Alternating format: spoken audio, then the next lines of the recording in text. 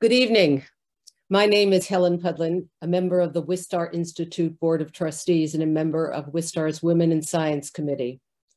It is absolutely thrilling to gather here virtually this evening to honor Dr. Carolyn Bertozzi, the 2022 Nobel Prize winner in chemistry, who has taken click chemistry to a new level.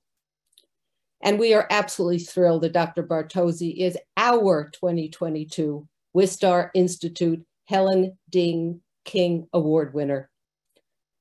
Wistar's Women in Science program spotlights the transformative and indispensable role women play in science, the challenges they have met, and their profound contributions. Dr. Bertozzi is the embodiment of what this award represents. Before presenting the award, I want to thank the members of the Women in Science Program Committee and our scientific program advisors, Drs. Amelia Escalano and Jessie Villanueva. I also want to thank our lead sponsors, Connie and Sankey Williams, Glenmede Trust Company, and Pfizer, our benefactor sponsors, Marta and Bob Adelson, and Cozen and O'Connor, and all of you who have generously supported this initiative and Wistar Science. As many of you know, Wistar is an international leader in biomedical research and home of breakthrough scientific discoveries in cancer, immunology, infectious disease research, and vaccine development. Wistar is America's oldest private independent biomedical research institute.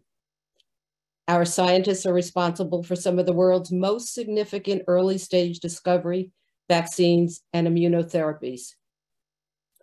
When biomedical research was an entirely male dominated field, Wistar hired its first female scientist, tonight's namesake, Dr. Helen Dean King. She started at Wistar in 1908, and at the time was the only woman in America to hold a full professorship in research. She spent her whole career at Wistar until her ret retirement in 1950, shattering barriers and making seminal contributions to science, including the development of the laboratory model still used and known today worldwide as the Wistar rat. Named in her memory, the Wistar Helen Dean King Award is presented annually to a transformative scientific pioneer working in the field of biomedical research. Dr. Bertozzi has pioneered a new field of chemistry, and her research has opened the door to a new era in medicine. Dr. Bertozzi completed her undergraduate degree in chemistry at Harvard her PhD at UC Berkeley, and postdoctoral work at UC San Francisco. A Howard Hughes Medical Institute mm-hmm. investigator since 2000, she came to Stanford University in 2015, where she is a professor and the Baker Family Director of Stanford's Interdisciplinary Institute, ChemH, which stands for Chemistry, Engineering, and Medicine for Human Health. In addition to women winning the 2022 Nobel Prize in Chemistry, she has received many, many other awards for her research and for training of next generation scientists in chemistry and biology. She was awarded a MacArthur Fellowship in 1999. She received the Lemelson MIT Prize, the Heinrich Wieland Prize, the AC, ACS Award in Pure Chemistry, and the Chemistry of the Future Solvay Prize, among other awards far too numerous to name tonight. She is a member of the National Institute of Medicine, the National Academy of Sciences, and the National Academy of Inventors, and a fellow of the American Academy of Arts and Scientists. It is a great, great privilege to now present Dr. Carolyn Bertozzi with the Wistar Institute Helen Dean King Award, honoring outstanding women in science for their courage, their leadership, and contributions to advance human health. Dr. Bertozzi. Mm-hmm. Wow. Thank you so much. We did it across the country. Isn't that amazing? Technology is improving by leaps and bounds. I'll now turn over the screen over to the 2022 Helen Dean King Award winner, Dr. Carolyn Bertozzi, after which we'll engage with audience questions. Please add any questions you have to the Q&A button at the bottom of your screen, and we'll do our best to get to as many of your questions as possible at the end of the program. Thank you and congratulations. Thank you so much, Helen. This is such a wonderful event. Uh, I'm so honored uh, to participate in this event with you all and with all of our listeners. Um, I'm going to share my screen. And, you know, what's so exciting to me about uh, being recognized with this award is that it's an opportunity to celebrate the life and the career um, of a great and pioneering and ceiling shattering scientists, Helen Dean King. Um, not only did she carve a path that opened doors for many of us and ultimately myself, uh, but she also made an enormous scientific contribution that is still highly impactful today, uh, which is the breeding of the Wistar rat. It's one of the standard model organisms that we use in the laboratory uh, to test ideas about biology and also to evaluate the potential of medicine candidates. And this is certainly how you know we have come to know the Wistar rat uh, over the course of my career. So with that, um, today I'm going to talk about basically the sugars that coat the surface of your cells. And this is a subject I first became interested in during my days as a PhD student. Uh, that's when I first learned about this wonderful class of biomolecules. And I should say from the outset that when people hear the word sugar, most of us immediately think about, you know, candy and that white powdery stuff that we put in our coffee. And there is a whole branch of biology around sugar as a, a source of energy and a food source. But there's a different world of biology that we study, which is complex carbohydrates that are made from simple sugars that populate the surface of our cells. And one thing we've learned over the last several decades is that these cell surface sugars are a language that cells use to communicate with each other and to share information. And sometimes those sugars are actually contributing to disease, which has opened up new ideas for therapeutic development. So let me start by telling you how I first learned that our cells are coated with sugars. It was during my undergraduate years in the late 1980s when our biochemistry professor at Harvard, in the class I was taking, analogized cells to the very familiar peanut M&M. And if you bite through the peanut M&M, the cross section is not unlike the way that we depict a cell where there's a sugar coating on the outside. And then you've got this layer of chocolate, which for the cell might be the fats and the lipids. And then all this good stuff in the middle, that's the nut, the protein and everything else. And, and we have all those things in our cells as well. But at that time in the 1980s, when someone would ask that professor, oh, what's the function of the sugar coating? There wasn't much known. And in fact, people would analogize the function similar to that of the peanut M&M. And those of us of a certain age might remember that commercial on TV for M&Ms, which is that the candy coating allows them to melt in your mouth, but not in your hand. Everybody remember that? I certainly do. And basically that would suggest that the sugar coating is just a protective shell. And that was one hypothesis about our cell sugar coating. But nowadays, you know, fast forward another 40 years or so, we know that it's a much more complicated story. First of all, the structures of these sugars on the surface of our cell are complicated and diverse, and they're dynamic, they're in motion.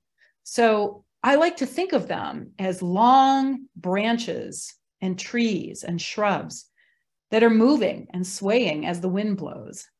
And if you had a tiny little, little helicopter that allowed you to fly just above the surface of the cell, when you look down, it might look like the surface of the planet Earth, where you have giant redwood trees in the forest and open spaces with grass and shrubs. And the sugars on our cell surfaces create this kind of a rich landscape. But it's not random. It turns out that these sugars have discrete structures, and those structures allow the cell to communicate with the outside world. So, one of the very first discoveries in the field of sugar biology, and by the way, we have a technical term for that, we call the field glycobiology, where glyco is a Greek prefix that means sugar. And back in the 1950s, physicians made the discovery that the sugars on our cells actually define our blood type. So many listeners probably know their blood type. And if you don't, I would go look that up or try and figure it out because it's good to know. But some of us are blood type O, and I'm one of those people. And by definition, a person who is blood type O has a particular type of complex carbohydrate structure on the surface of their blood cells. It's a structure made up of three building blocks. So there's this black building block here. This is a chemical structure of that sugar. Then there's a different sugar in green and a different sugar in blue, and they're all linked together in a certain way. And that structure is blood type O. But then some of us are blood type A. And blood type A people have an enzyme, and that enzyme can take this red sugar and add it to the blood type O structure to create this larger blood type A structure. And I don't have that enzyme. That's why I'm blood type O. I can't make the blood type A structure. And then there's the blood type B. Those people have a slightly different enzyme, and that enzyme can take the green sugar and add it to the O structure to make the B structure. And if there's any chemist in the audience, that person might be walking through the details of the A structure and the B structure, and they might notice that they're almost identical. There's just one little chemical group that's different. It happens to be this OH group here versus this ACHN group here. That is the only chemical difference. And for a chemist, this is a tiny little difference, but for your immune system, this is night and day. So if a person who's blood type A accidentally gets a blood transfusion from a donor who's blood type B, that recipient will raise an immune reaction against the blood type B blood because it looks foreign and that could kill the person. So, understanding the blood groups, the structures, and how the immune system reacts to these complex carbohydrates allowed people to figure out how to do blood transfusions safely. You need a donor that's a match to the blood type of the recipient. So, that big discovery from the previous century set the stage for this field of glycobiology as one that might be very important for human medicine. And that's why I got interested in this field back now more than 25 years ago, and I've been working in it ever since. Now, one of the reports in glycobiology that caught my attention, and this report actually dates back to the 1960s, but was repeated again and again and again over the next half century, is that the structures of sugars on cancer cells are quite different from the structures on the healthy cells that they derived from. And one of these cancer specific changes in cell surface sugars is the overproduction of complex carbohydrates that terminate with this particular simple sugar building block that's called sialic acid. And by the way, many of the listeners might be familiar with the term acid, and we think of acids as being corrosive substances. But that's not what this is. Sialic acid, it just happens to have acid in the name, but this is just a sugar, but it's a very particular type of sugar where our normal healthy cells will always have some sialic acid, but I like to think of it as a well manicured garden of sialic acid, just the right amount. And for some reason that wasn't known until quite recently, When the healthy cell becomes a cancer cell and the cancer cell starts to form a tumor, those cancer cells undergo an increase in the abundance and the density of these sialic acid sugars. And we were very interested in why that might occur. So, about 15 years ago, there was a big breakthrough in the field of cancer immunology. And some very important contributors to this field are working right there at the Wistar Institute and at UPenn. So this is probably very familiar to the scientists in your local environment. But what we now know is that your immune system plays a very important role protecting you from cancer. And the way it works is you have white blood cells, those are your immune cells, and they're coursing through your body, through your blood vessels, pumped by your heart. And as they course through the body, they sample all of your other cells one by one. And it's almost as if they're tasting them. The way they do this is these green fuzzy immune cells will dock onto a target cell and they're sampling the merchandise and they can tell whether that underlying cell is a healthy cell or a diseased cell like a cancer cell. With a little bit more detail, I'm showing a cartoon that depicts what we call the synapse or the junction between those circulating immune cells and the target cancer or healthy cell that they're sampling. And the way that they sample is through the interaction of receptors on the immune cell. These are proteins anchored to the surface of that immune cell. We call them receptors. And they're binding molecules that are on the surface of the cancer cell. Some of those receptors on the immune cell are what we call activating receptors. And what they are looking for are molecules on the target cell that are indicators of damage. And if there's enough of these activating receptors and damage signals that are interacting with each other at the synapse, that triggers a response by the immune cell. That's why we call them activating. And what the immune cell will do in response to that signal is launch an attack at that underlying target cell. And literally, like firing a missile, it will just kill that target cell. So if this is a cancer cell and everything's working properly, the damage signal trigger the immune cell to kill, and that protects us from cancer. But this is a dangerous capability that the immune cell has because what if the immune cell makes a mistake and accidentally starts to kill healthy cells? That does happen. And when that goes out of control, we end up with autoimmune diseases. Those are diseases where our own immune system is damaging us.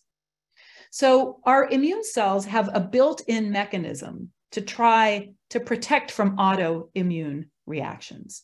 That's the job of these other receptors on the immune cell called the inhibitory receptors. These proteins are looking for molecules on the cancer cell that are signatures of good health. And if there's enough of the good health signals binding the inhibitory receptors, that shuts the immune cell down and puts it to sleep and sends it on its merry way to the next target cell. So what we discovered, and what I when I say we, I mean the field of cancer immunology, is that you can potentiate or increase the activity of your immune cells as killers of cancer by blocking the interaction between inhibitory receptors and healthy signals that a cancer cell might put on the cell surface as part of its mechanism to escape recognition by the immune system. And the so called first generation immune therapies that have now been on the market for almost 10 years are essentially monoclonal antibodies that bind either the receptor or the signal it binds to and just block this inhibitory interaction. So let me show you an example of some clinical data from first generation cancer immune therapies that got the, the whole world really excited about this approach to treating cancer. These are data from a phase three clinical trial where two different immune therapies were tested on their own and also in combination with each other. And these immune therapies are monoclonal antibodies that block receptors on T cells. T cells are one type of immune cell. And the receptors they block are inhibitory receptors called either PD1 or CTLA4. And sometimes people refer to these two inhibitory receptors as the T cell checkpoint receptors. And in this clinical trial, patients with advanced metastatic melanoma, so that's skin cancer, very dangerous form of cancer. These are patients that 100% of them would have succumbed to this illness without these treatments. But when they were treated with antibodies that block CTLA4 or PD1 or a combination of two antibodies that block one or the other, now some of the patients survived for the long term and were actually cured of this otherwise fatal diagnosis. So you can see patients treated with one antibody or the other, you know, some of the patients did not survive, but after three years, between 30 and 50% of the patients were still alive and in remission. And when the two medicines were combined with each other, over half of those patients were still alive at the three year mark. Again, totally unprecedented for advanced skin cancer. So these kinds of data back around 2010 to 2012 launched this new revolution in oncology where we think about ways that we can jack up the activity of our immune system in the battle against cancer.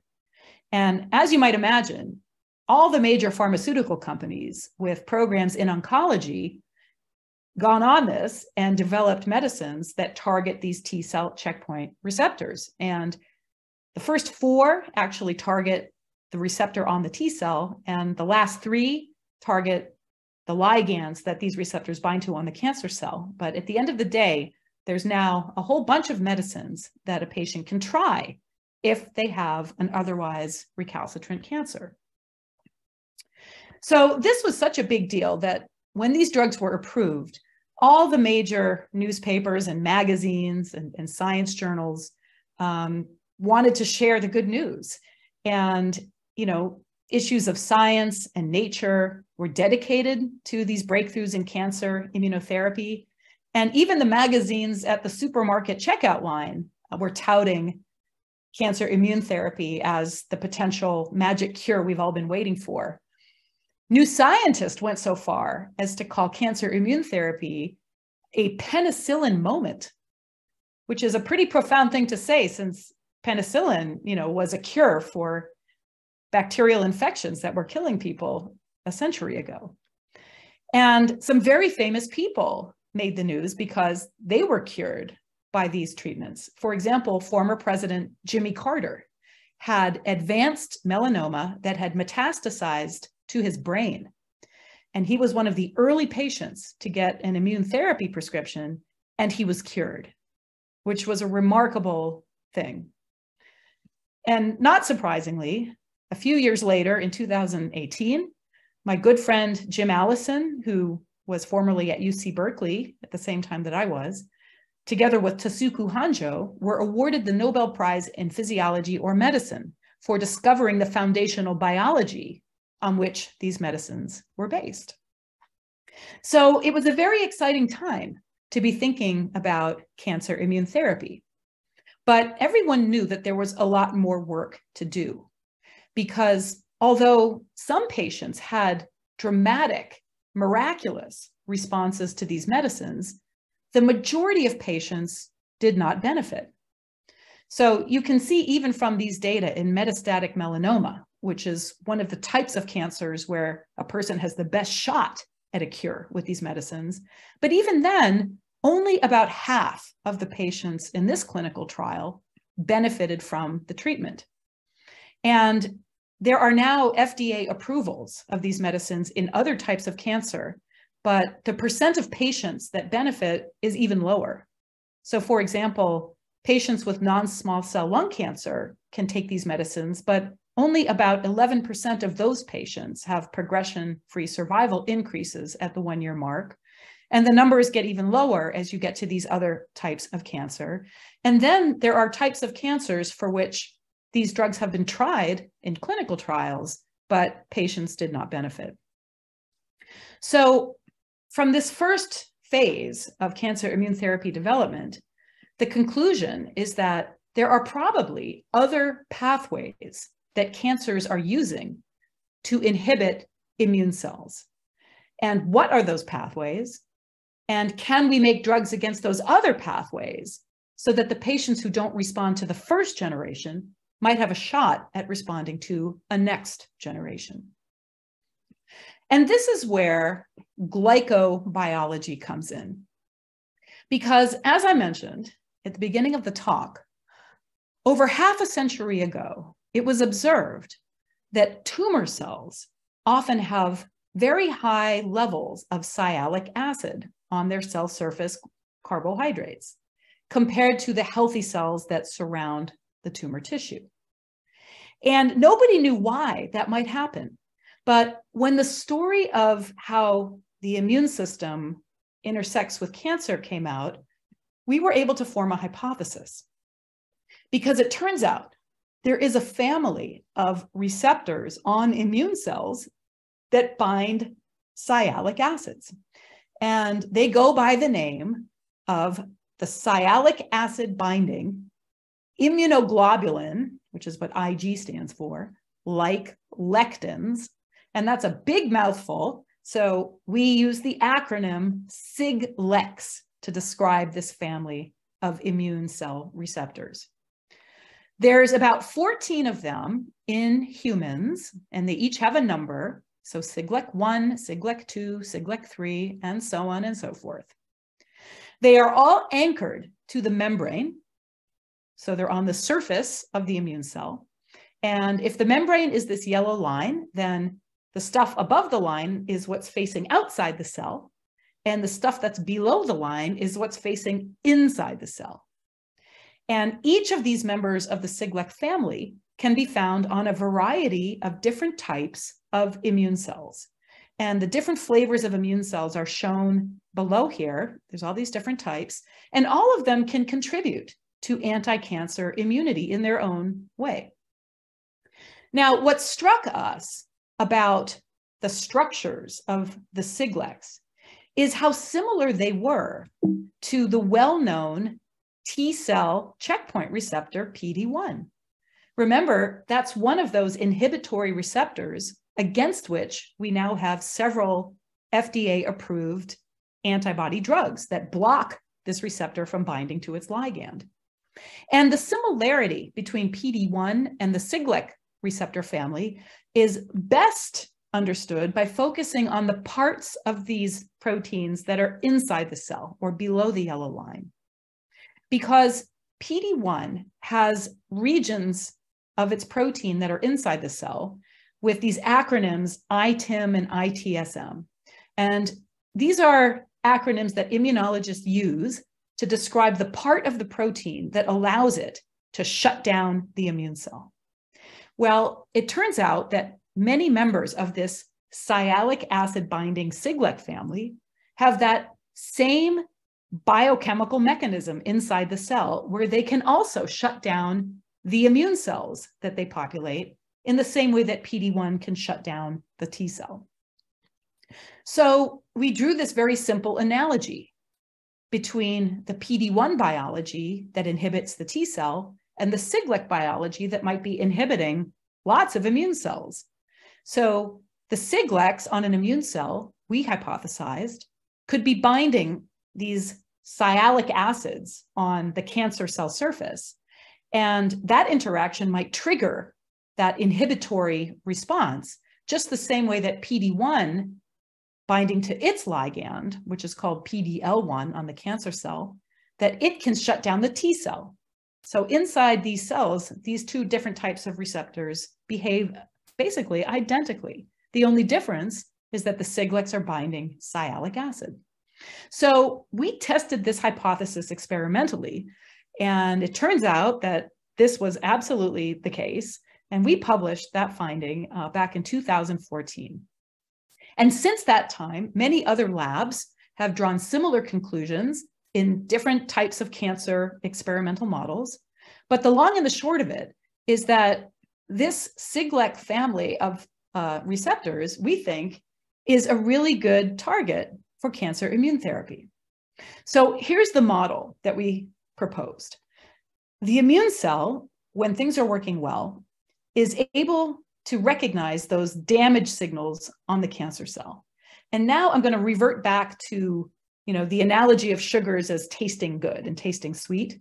So imagine the immune cell is tasting the cancer cell and it tastes bad, so it launches the bombs and kills the cell. That's good news for the person.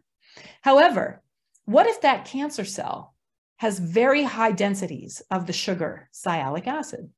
Now, that Siglec receptor can taste the sugars and it makes the cancer cell taste a lot better. And that signals to the immune cell that everything's okay. Don't kill the cell, move along. And that's bad for the person. So, what we want to do is take away the sialic acids and make that cancer cell taste bad again. Another way to analogize this is think about your, fa- your favorite actor. And I'm going to pick on Michelle Pfeiffer here because I'm a child of the 1980s. But, you know, when she's performing in most of her films, she looks fabulous. She's dressed up, and imagine she's wearing a beautiful outfit coated with sialic acid. She looks amazing. But take away the sialic acid, and now she might look quite different to you if you're an immune cell. And maybe you can see her for what she really is, which is a cancer cell. So, how do you make a medicine that takes the sialic acids off of cancer cells? We like to think of this as a medicine that functions like a molecular lawnmower that can literally mow sialic acids off of cancer cells. Imagine parking that medicine on the cancer cell, turning it on, and off go the sialic acids. Now that cancer cell cannot engage the Siglecs cannot put those immune cells to sleep, and it gives your immune cell the chance to recognize it as damaged and kill it.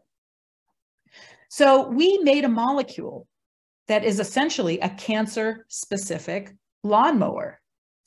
The molecule has two parts. One part, which is this pink part of the molecule, and it's a big protein molecule. This pink part is an antibody, and ideally, a monoclonal antibody that binds something that's very specific to cancer cells. It turns out that many such antibodies are already known, and some of them are FDA approved drugs all by themselves.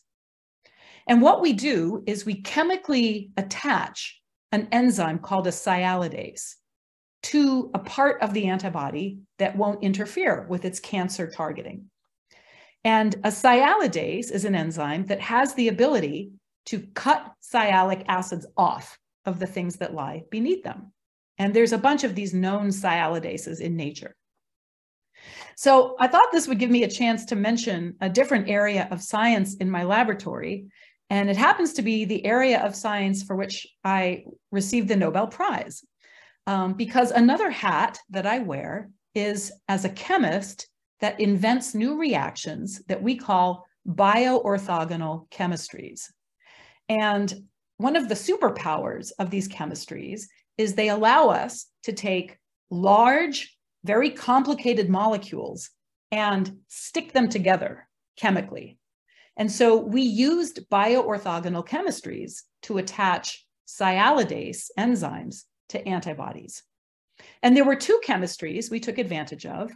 I won't go through the gory technical details, but it suffices to say we have a technology where we can introduce a chemical group called an aldehyde onto a position that we want on a monoclonal antibody, which is what this Y shape denotes. That aldehyde allows us to do a bioorthogonal chemical reaction called the Pictet-Spengler ligation.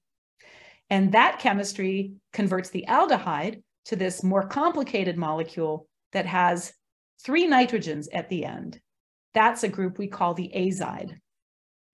In parallel, we took the sialidase, which is this little Pac-Man shape, and we did some chemistry on the sialidase to introduce this exotic chemical group, which has a cyclooctine ring. And that chemical group will react with the azide in a second bioorthogonal chemistry called copper-free click chemistry that ultimately stitches two copies of the enzyme onto the tail of this antibody. So once we had made these antibody sialidase conjugates, we were able to test their biological activities in a number of different settings. But most importantly, we found that they can blunt the growth of tumors in a variety of mouse cancer models. And here's one example of some data that we acquired in collaboration with an oncologist named Heinz Laubli at University Hospital in Basel, Switzerland, and his grad student, Michael Stanczak. This is a model in which Michael took a mouse breast cancer cell type and engineered it to express a marker that's found on human breast cancers. Then he grew those cancers in the mouse mammary fat pad, so breast cancer in the mouse breast, and treated those mice with different reagents to see if he could basically prevent tumor growth and kill the tumors. So you're looking here at an increase in the size of those tumors as a function of days, where each of these triangles is a point in time at which we injected into these mice either just a saline solution called PBS or an antibody on its own, which is called TRAS, or a conjugate between that same antibody and a sialidase at two different doses. And as you can see, the antibody on its own had no effect on the growth of these tumors. They grew just as if we had injected the animals with salt water. But when the animals were injected with the antibody conjugated to a sialidase, now the tumors had a very difficult time growing. And that's because the immune cells of the mouse were killing those cancer cells. So this gave us the confidence that it was time to make a candidate for human clinical trials. And to do that, we formed a company uh, that goes by the name of Paleon Pharmaceuticals. And by the way, Paleon is located out on the East Coast. It's just outside of Cambridge, Massachusetts. And the scientists at Paleon did some wonderful work to basically re-optimize the structure so that we could develop it more easily as a human medicine. So you can see that on the left-hand side is the prototype that we made in my academic lab, where we chemically connected a sialidase from a bacterium to a human antibody. At Paleon, they have figured out, first of all, how to switch to a human sialidase, which is better for human medicine. And they also changed the structure where instead of having two enzymes attached to a full antibody, which is a very large molecule, they took off one domain of the antibody, you can call it this right-hand arm, and replaced that with the enzyme so that the overall molecule looks more like an unmodified antibody. So this is the structure that we're gearing up to test in humans, in cancer patients. And we're at the point where we will be launching a phase one slash two clinical trial sometime in the middle of 2023. So we will be able to test this idea in humans soon enough. So with that, hopefully I've given you a sense of the kind of work we do in my lab, how we try to make new kinds of medicines that are based on what we learn about glycobiology. And bioorthogonal chemistry was a supporting role in this particular story, but it was the focus of the first decade or so of my lab's research at UC Berkeley. And I'm grateful that we have those technologies to accelerate this more recent work that I mentioned today. So with that, I'll thank all of my past and present trainees. There's several hundred of them. Can't put them all on one slide. But this is the composition of my current lab at Stanford. And the students and the postdocs and the undergrads and the staff are working away trying to make new kinds of medicines based on glycoscience. With that, thank you very much for this opportunity, and I'm happy to answer questions.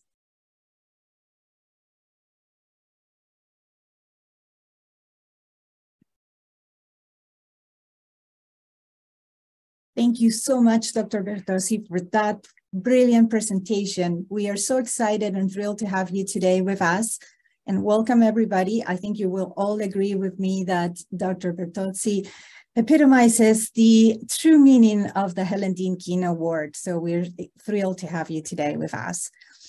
Um, my name is Jessie Villanueva. I am a faculty member here at the Wistar Institute. I'm also the Associate Director for Diversity, Equity, and Inclusion. And together with my colleague Amelia Escolano, we are uh, the scientific advisors for the Women in Science program. Amelia?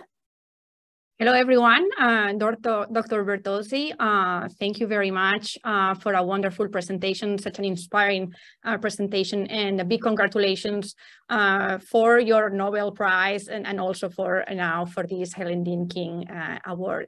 my name is Amelia Escolano. I'm an assistant professor at the Wistar Institute, and as Jesse said, I'm also a scientific advisor for our Women and Sci in Science program here at Wistar. Uh, so Jesse and I uh, are going to be uh, leading the Q&A today. Uh, we received uh, multiple questions in advance to your presentation, and we also have a series of questions that listeners were adding to the chat. so I can start. Um, I see that um, a couple of listeners were wondering between uh, the differences uh, in glycosylation be between different uh, cancer cell types. Uh, so specifically, uh, someone is asking, is, is, is there different uh, forms of sugars on cancer cells? Are these sugars universal to all, all these cancer cells? And also, um, as the cancer cells are very heterogeneous, are they universal binding sites where a particular monoclonal antibody can attach? Or, or, or like it's also like the, the listener is also suggesting if you are using specific antibodies for uh, specific cancer cell types or you use uh, cocktails of, of monoclonal antibodies. Thank you. Um, these are great questions, very insightful. And I'll start with the first one, which is, um, are there different forms of sugars on different cancer cells, or is there like a universal signature? There's definitely a lot of heterogeneity. Um, and basically the way that we've been teasing this out, and this is the work primarily at Palion, um, is by making reagents that are basically soluble forms of the Siglec receptor carbohydrate binding domains that we use to do immunohistochemistry. So we can take patient biopsy samples from, from cancers that are resectable and cut slices of them and stain them with different soluble Siglec reagents. And if a Siglec reagent binds to the tissue and lights it up, then we know that there are sugars there that are binding to that Siglec. But it's difficult to dig into the weeds and figure out what's all the details of those chemical structures of those sugars, because that's just a really hard or experimentally challenging question to answer. Sequencing sugars is a billion times more difficult than sequencing, for example, DNA or even proteins. But using the Siglecs themselves as staining reagents for immunohistochemistry gives you a functional readout that that cancer has ligands for that Siglec. And when Palion does those experiments, what they find is there are certain types of cancers that tend to express ligands that bind particular Siglecs. For example, 80% of melanoma patients will have ligands for Siglec7, Siglec9, and Siglec3, all three of them. Okay, that's a preponderance. Whereas patients with other types of cancers, for example, head and neck cancer, a far fewer percentage of those types of patients have ligands for Siglecs. Patients with ovarian cancer often express high levels of ligands for one particular Siglec, whereas patients with pancreatic cancer tend to express ligands for a different Siglec. And you can stratify patients based on their Siglec ligand expression patterns, you know, which is something we're interested in doing as we enroll them in our clinical trials. So the bottom line is there is heterogeneity. We don't know all the chemical details of the sugar structures, but we can get a functional readout of which Siglecs might be most important for immune modulation by those tumors and that I think is, is helpful to understand the biology. The Thank second question I think had to do with can you make monoclonal antibodies that block the ligands, the sugars themselves? I yeah, think? so, so the question was like if these glycans have some common common epitopes, let's say, uh, so that can be all these different glycans or like cancer cell types could be uh, targeted by the same mon- same monoclonal antibody, or if you uh, are considering cocktails uh, for different types of yeah. Sure. Um, right now, we're leveraging several decades of knowledge about different cancer types and the antigens they express. So, for example, I showed the, the that particular antibody that we tested in that model is an antibody called trastuzumab, and it's an FDA-approved antibody that's used to treat breast cancers and gastric cancers with high levels of an antigen called HER2. And we already know from lots of clinical data and several approved drugs that that antibody gives good selectivity for cancer cells by binding HER2. Okay, so that's that's well established. So we're using that antibody, this FDA approved antibody, as the first target with our sialidase because we already know, right, that it's a successful antibody in a number of breast cancer patients.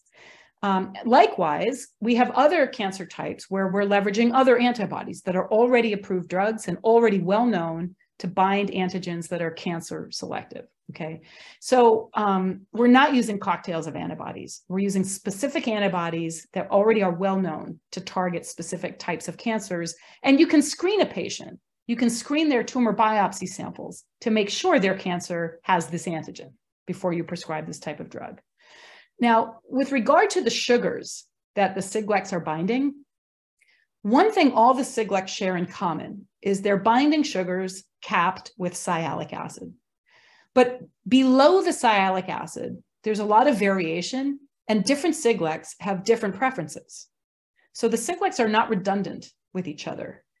They all require the sialic acid, but then there's more to it than that. So the reason we like the sialidase approach is you don't need to know precisely which Siglecs are the most important Siglecs. You don't need to know whether that particular tumor has more ligands for Siglec 9 than it has for Siglec 7 or Siglec 3. All you need to know is if Siglecs are involved and you take the sialic acids off, you will deprive all of those receptors of their high affinity ligands. So this, the sialic acid is a node. It's not the whole story, but it's a node. And if we hit that node with a sialidase, I think we can have a profound effect on the immune system. Thank you very much, uh, Dr. Bertozzi. So we have two other interesting questions here. One, is there any correlation between Siglet um, expression and resistance to checkpoint inhibitors? Yes, there is. you know, from the outset, our hypothesis was that patients that don't respond to checkpoint inhibitor therapy, it might be because Siglecs and sialic acids are more important axes of immune suppression in those patients. And at Palion, they actually have some translational data where they got a collection of tumor biopsy samples from patients at Mass General Hospital. And these are patients that were treated with immune therapy with checkpoint inhibitors, and some of them responded and some of them didn't. And the non-responders are the ones that have the highest levels of Siglec ligands on their tumors. And conversely, the patients that do respond to these checkpoint inhibitors tend to have lower levels of Siglec ligands. So that's a correlation. It doesn't prove causation, but our hypothesis is that patients that don't respond to checkpoint inhibitors have a shot at responding to sialidases or Siglec ligand degraders. If you combine the two, you might get an even more profound effect, an even broader response profile. And there's a our collaborator Heinz Laubli. He just put out a paper in Science Translational Medicine just about a week ago, uh, showing that these engineered sialidases can cure a certain fraction of mice from cancers. The checkpoint inhibitors can cure a certain fraction of mice, but if you combine them, you can cure almost every mouse in these cohorts. So I think combination therapies with the blockers of PD1 and CTLA4 are going to be really interesting to look at. Fantastic. And is there any concern about potential toxicity when you use a combination of the two? Well, toxicity is always a concern, whether you're co combining medicines or testing them on their own. And we already know that the first generation immune therapies have typical side effects that are autoimmune in nature, right? Because you're disrupting a receptor whose natural function it is to prevent autoimmune reactivity. And if you block that receptor, you should expect some autoimmune side effects, and that's exactly what people see. So I think with our medicines, with our sialidases, we should look carefully for autoimmune side effects. I wouldn't be surprised if they arise over time. And with the combinations, it's true that those side effects might be further exacerbated, but the human clinical trials will tell us this. Looking forward to see what happens. So we have also um, a series of questions about uh, your personal experience as a, as a scientist, as, as a woman in science. So um, um, people want to know, uh, for example, what would you tell the younger you uh, after this uh, remarkable accomplishment? And what would you tell uh, young scientists and specifically uh, women in STEM that are pursuing a career in, in science?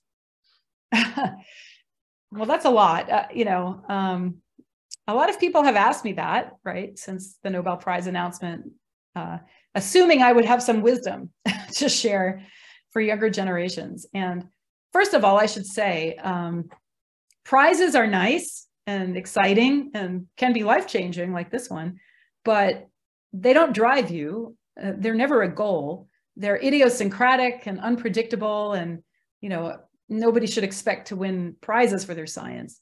Um, I think really what you should focus on as a scientist is what can you do for the benefit of humanity, right? How can you use your passion for science uh, to make the world a better place? And there's so many ways that you can improve the world with science. And biomedicine is just one. There's lots of other ways as well. There's all kinds of problems. Climate change, you know, inequalities in the world. And science, I think, can be really put to good use to make humanity suffer less. Chemistry in particular, you know, I always felt that um, when the world is on fire, you know, when the world is in trouble, chemistry often comes to the rescue, as we did with COVID vaccines and therapeutics and, and so on and so forth. Um, so if you're a young scientist and you know you have an aptitude for science and an interest in science and a passion for science, think about what are the unmet needs in the world. And sometimes the unmet needs are very tangible solutions to problems like medicines, but sometimes the unmet needs are knowledge. Sometimes we just don't know enough in a particular area to be able to solve problems yet. So even just contributing to the base of knowledge for humanity is, is an enormous contribution to the world. Uh, and if you focus on that and just do the highest quality science you can do with the most diligence and the most attention to detail, good things will follow.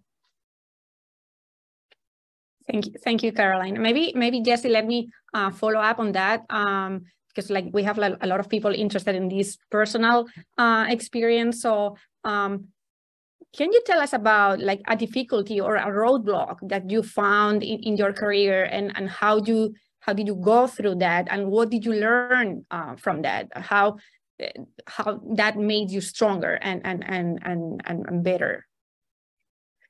Well, like everyone, you know, I've I've had my challenges and some of my challenges have been specific to research projects I worked on that weren't going so well and so on. And, and others, other challenges were due to external forces like gender discrimination and I'm I'm a lesbian, so also, you know, discrimination based on homophobia. I mean, these are all problems I encountered throughout my career and um, was able to overcome uh, to some extent. Uh, I was lucky because I came into my adulthood at a time when um, the culture in our country was changing. And there was at least lip service to a desire to have more women in science, if not much action, but at least there was talk about it. Uh, and also, the world, at least the US, was changing with regard to the rights and opportunities of queer people like me. So I'm very lucky because if I had been born even 10 years earlier, uh, doors wouldn't have been open the way that they were for me. And the doors are even wider open now, which is wonderful for younger scientists breaking into the field. Um, but there were times when I felt kind of locked out of doing the kinds of science I was interested in. And I had to find back doors and side doors to make my way in. Uh, and it was frustrating at the time, but I think there was a lesson there. And the lesson for me was sometimes you can't get the opportunity that you're thinking of in, in, the in the near term. And if you can't, then you should look for what opportunities are available to you and just get on that bus and go. Because an opportunity is an opportunity, even if it's not the one you had in mind. it is an opportunity. And don't be afraid to take opportunities that you hadn't foreseen as being right for you and just give it a go. Um, and I did that as an undergraduate and it allowed me to stay in the chemical sciences and eventually make my way to organic chemistry, which was my real passion. But I was not able to break into that field for several years of trying. Um, but I found a back door and managed to get my way in. This is in the 1980s. Then later, as an assistant professor, I had another difficult period of time where I didn't have a whole lot of support uh, from my senior colleagues in my department. And I questioned whether I was going to last in my job. You know, I wasn't sure. Um, and what happened was um, I kept it to myself for a long time. And then eventually one evening I was, you know, in a conversation with some people from a different department. And I just bared my soul and I told them my frustration and, you know, my questions about whether I was in the right job. And it turned out some of those other faculty from this other department decided to step up and be my advocates. And they really helped me at a time when I had a hard time finding the support I needed from my more immediate colleagues. So the lesson there is all of us need advocates to help us along the way. We need people who can help clear the debris that might get thrown in front of us, either intentionally or unintentionally. And sometimes those advocates are not the people in your backyard right? Those advocates you might find from a more distant location, but they're out there and make sure you have them. Thank you very much for, for sharing that experience. I'm sure that's very helpful and inspiring for everyone. Um, yeah, thank you. Yeah, thank you so much, Dr. Bertozzi. Let me echo Amelia's words. Um, your inspiration, not only for the science you're doing, but also for your personal experiences and for being so candid to share them with us, especially for those of us who are underrepresented in, in biomedical research. Um, that is super, super inspiring. So thank you so much. If you allow me to go back to a, a scientific question, I think um, one that we're curious about is whether there is anything known in terms of the microbiome and sugars. Is there any impact on changes in the microbiome and how the sugars are expressed in our cells? You know that is such a frontier bleeding edge of science right now. Um, but i think the smart money says yes there probably is a rich glycobiology around the microbiome and interaction between those microbes and the host that they benefit. Um, and just as a case in point you know i have colleagues at stanford that study the genetics of the microbiota and have found that there's more glycobiosynthesis genes in those microbiota species than in any other sector of bacteria. So they're obviously making a lot of interesting sugar molecules. Also, your gut is lined with complex carbohydrates on a class of glycoproteins called mucins. And mucins are the major constituents of mucus. And we all know that there's a lot of mucus in your GI tract. Those mucins interact with bacteria in a number of ways. They can affect how the bacteria attach to the gut cells, the epithelial cells of the gut. They also can be food for bacteria, and bacteria produce enzymes that digest these mucins. So when a person has a deficit in gut mucins, this can cause a dysbiosis of the microbiota. So there's a glycoscience there. And I would encourage people to think about studying that because there's a lot we don't know. Thank you, Dr. Bertozzi. We have a ton of questions and a lot of congratulations and um, expression of great talk, but we unfortunately have to let Dr. Bertozzi go. She has another um, commitment after these, but we are so grateful for your time. And again, you are truly an inspiration to all of us. Thank you so much for joining us today. Thank you so much. I'm so Thank proud you. to have this rat. This is beautiful. Thank you. thank you. Uh, in closing, let me thank everyone for joining us today. It has been a wonderful time having you all here with us. And please do save the your the next event in your calendars. It's Thursday, April the 27th next year. And we will have another inspiring woman, Maria Elena Bottazzi, who has been a, a drive force in the development of the COVID vaccine, given out for the entire world without a patent. So please do join us for the next event. And thank you so much, Dr. Bertozzi and everybody for joining us. Bye now. Thank you. Bye. Thank you. Thank you. Bye.